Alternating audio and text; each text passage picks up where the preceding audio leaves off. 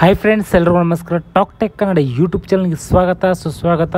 ಇವತ್ತಿನ ಈ ಒಂದು ವಿಡಿಯೋದಲ್ಲಿ ಗೃಹಲಕ್ಷ್ಮಿಯ ಮತ್ತೊಂದು ಅಪ್ಡೇಟ್ಗೆ ನಿಮಗೆಲ್ಲ ಪ್ರೀತಿಯ ಸ್ವಾಗತ. ಗೃಹಲಕ್ಷ್ಮಿ ಯೋಜನೆ ಅಪ್ಡೇಟ್ ಏನಂದರೆ, ನೀವು ಗೃಹಲಕ್ಷ್ಮಿ ಯೋಜನೆಯಲ್ಲಿ ಅಪ್ಲಿಕೇಶನ್ ಸ್ಟೇಟಸ್ನ ನೀವು ಚೆಕ್ ಮಾಡ್ಕೊಳಕ್ಕೆ ಆಗ್ತಿರಲಿಲ್ಲ ಎಷ್ಟು ದಿವಸ. ಆದರೆ ಈ ಒಂದು ವಿಡಿಯೋದಲ್ಲಿ ನೀವು ಚೆಕ್ ಮಾಡ್ಕೊಳ್ಳೋದು ಹೇಗೆ ಅಂತ ಮತ್ತೊಂದು ಅಪ್ಡೇಟ್ ಬಿಟ್ಟಿದ್ದಾರೆ. ಅದನ್ನು ಹೇಗೆ ಚೆಕ್ ಮಾಡ್ಕೊಳ್ಳೋದು ಅಂತ ಈ ವಿಡಿಯೋದಲ್ಲಿ ಕಂಪ್ಲೀಟಾಗಿ ತಿಳ್ಕೊಳ್ಳೋಣ ಈ ವಿಡಿಯೋನ ಸ್ಟಾರ್ಟ್ ಮಾಡೋಕ್ಕಿಂತ ಮುಂಚೆ ನೀವು ನಮ್ಮ ಚಾನಲ್ ಸಬ್ಸ್ಕ್ರೈಬ್ ಮಾಡ್ಕೊಂಡಿದ್ದಂದರೆ ಸಬ್ಸ್ಕ್ರೈಬ್ ಮಾಡ್ಕೊಳ್ಳಿ.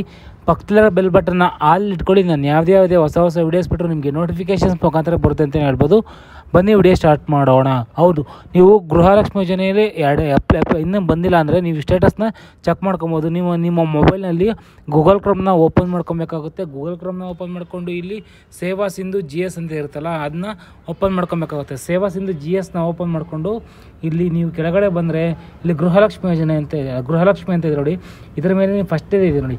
ಗೃಹಲಕ್ಷ್ಮಿ ಮೇಲೆ ನೀವು ಕ್ಲಿಕ್ನ ಮಾಡ್ಕೊಬೇಕಾಗುತ್ತೆ. ಇಲ್ಲಿ ನೀವು ಕ್ಲಿಕ್ನ ಮಾಡ್ಕೊಂಡ ನಂತರ ಕ್ಲಿಕ್ ಮಾಡಬೇಕಾಗುತ್ತೆ. ಅಂದರೆ ನೀವು ಸ್ವಲ್ಪ ಹೊತ್ತು ವೆಯ್ಟ್ ಮಾಡಬೇಕಾಗುತ್ತೆ. ಯಾಕೆಂತಂತಂದರೆ ಸರ್ವಸ್ ತುಂಬ ಬ್ಯುಸಿ ಇರೋದ್ರಿಂದ ನೀವು ವೆಯ್ಟ್ ಮಾಡಬೇಕಾಗುತ್ತೆ. ವೆಯ್ಟ್ ಮಾಡಬೇಕು. ವೆಯ್ಟ್ ಮಾಡಿದ ನಂತರ ಈ ರೀತಿಯಾಗಿ ಬರುತ್ತೆ. ಈ ರೀತಿಯಾಗಿ ಬಂದ ನಂತರ ನೀವು ಇಲ್ಲಿ ನಿಮ್ಮ ರೇಷನ್ ಕಾರ್ಡ್ ನಂಬರ್ನ ಎಂಟ್ರ್ ಮಾಡಬೇಕಾಗುತ್ತೆ. ಇಲ್ಲಿ ನೀವು ರೇಷನ್ ಕಾರ್ಡ್ ನಂಬರ್ನ ಎಂಟ್ರ್ ಮಾಡಿ ಇಲ್ಲಿ ಸರ್ಚ್ ಮಾಡಿದ ನಂತರ ನೆಕ್ಸ್ಟ್ ಇಲ್ಲಿ ಈ ಥರ ಬರುತ್ತೆ. ನೀವು ರೇಷನ್ ಕಾರ್ಡ್ ನಂಬರ್ ಅಂದರೆ ನೀವು ಮಾಡಿದ ನಂತರ ರೇಷನ್ ಕಾರ್ಡ್ ನಿಮ್ಮ ರೇಷನ್ ಕಾರ್ಡ್ ನಂಬರ್ ಇರುತ್ತೆ, ಕೆಳಗಡೆ ಅಲ್ಲಿ ಅಪ್ಲಿಕೆಂಟ್ ನೇಮ್ ಇರುತ್ತೆ ಸ್ಟೇಟಸ್ ಅಂದರೆ ಸ್ಟೇಟಸ್ ಏನಾಗಿದೆ ಅಪ್ಲಿಕೇಶನ್ ರಿಸೀವ್ಡ್ ಅಂದರೆ ನಿಮ್ಮ ಅಪ್ಲಿಕೇಶನ್ ರಿಸೀವ್ಡ್ ಆಗಿದೆ. ಇಲ್ಲಿ ಪೆಂಡಿಂಗ್ ಅಂತ ಬಂದಿದೆ ನೋಡಿ ಲಾಸ್ಟಲ್ಲಿ ಈ ಪೆಂಡಿಂಗ್ ಅಂತ ಅಂತ ಬಂದರೆ ನಿಮ್ಮ ಅಪ್ಲಿಕೇಶನ್ ಇನ್ನೂ ಅಂಡರ್ ಪ್ರೊಸೆಸ್ ಅಂದರೆ ನಿಮ್ಮ ಅರ್ಜಿ ಇನ್ನೂ ಕಂಡಿ ಕಂಪ್ಲೀಟಾಗಿ ಅಪ್ ಅಕ್ಸೆಪ್ಟ್ ಆಗಿಲ್ಲ.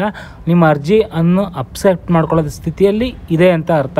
ಒಬ್ಬೊಬ್ಬರಿಗೆ ಪುಷ್ಟು ಡಿಬಿಟ್ ಅಂತ ಬಂದಿರುತ್ತೆ. ಅಂದರೆ ನಿಮ್ಮ ಹಣ, ಅಂದರೆ ನಿಮ್ಮ ಅಕೌಂಟ್ಗೆ ಬರೋದಕ್ಕೆ ಈಗ ಸ್ವಲ್ಪ ಸಮಯ ಇದೆ ಸ್ವಲ್ಪ ಸಮಯದಲ್ಲೇ ಬರುತ್ತೆ ಅಂತಲೇ ಹೇಳ್ಬೋದು. ಅಂದರೆ ಬ್ಯಾಂಕ್ ನಾಟ್ ಲಿಂಕ್ಡ್ ಅಂದರೆ ನಿಮ್ಮ ಆಧಾರ್ ಕಾರ್ಡ್ ಬ್ಯಾಂಕಿಂಗ್ಗೆ ಸಿ ಲಿಂಕ್ ಮಾಡ್ಕೊಬೇಕಾಗುತ್ತೆ. ಇದೊಂದು ಮಾಹಿತಿ ಈ ವಿಡಿಯೋದಲ್ಲಾಗಿರುತ್ತೆ ಈ ಮಾಹಿತಿ ಇಷ್ಟ ಆಗಿದ್ರೆ ಲೈಕ್ ಮಾಡಿ ಕಮೆಂಟ್ ಮಾಡಿ. ನಿಮ್ಮ ಫ್ರೆಂಡ್ಸ್ ಫ್ಯಾಮಿಲಿ ಜೊತೆ ಶೇರ್ ಮಾಡ್ಕೊಳ್ಳಿ ಅಂತ ಹೇಳ್ತಾ ನೆಕ್ಸ್ಟ್ ವಿಡಿಯೋದಲ್ಲಿ ಸಿಗ್ತೀನಿ. ಅಲ್ಲಿವರೆಗೂ take care bye Jai Hind, Jai Karnataka ಮಾತೆ.